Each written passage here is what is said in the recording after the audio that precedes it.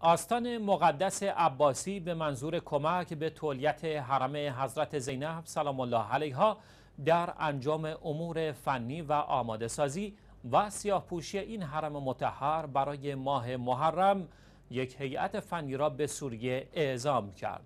به گزارش پایگاه اطلاع رسانی آستان مقدس عباسی حسن هلال از مسئولان این آستان در این باره گفت به دستور تولیت آستان مقدس عباسی کادر فنی متخصص در برق و لوازم صوتی اقدام به رفع نیازهای حرم متحر حضرت زینب سلام الله علیها کرده است.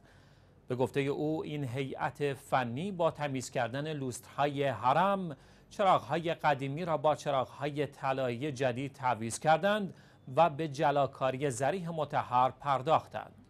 حسن هلال افزود این افراد پس از بررسی خسارت های وارد شده به پنجره ها قطعات آسیب دیده را با پنجره های جدید عوض کردند.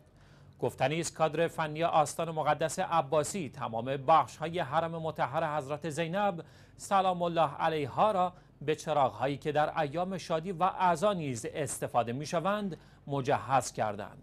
بر اساس این گزارش مهندس محمود الحمد مدیر فنی حرم حضرت زینب سلام الله علیها از کمک های آستان مقدس عباسی و ارسال گروه فنی برای ارائه خدمات به این حرم متحر تشکر و قدردانی کرد. آستان مقدس عباسی پیش از این نیز خدماتی ارزشمند را در بازسازی و مرمت قسمت های مختلف حرم حضرت زینب سلام الله علیها در شهر دمشق ارائه کرده است.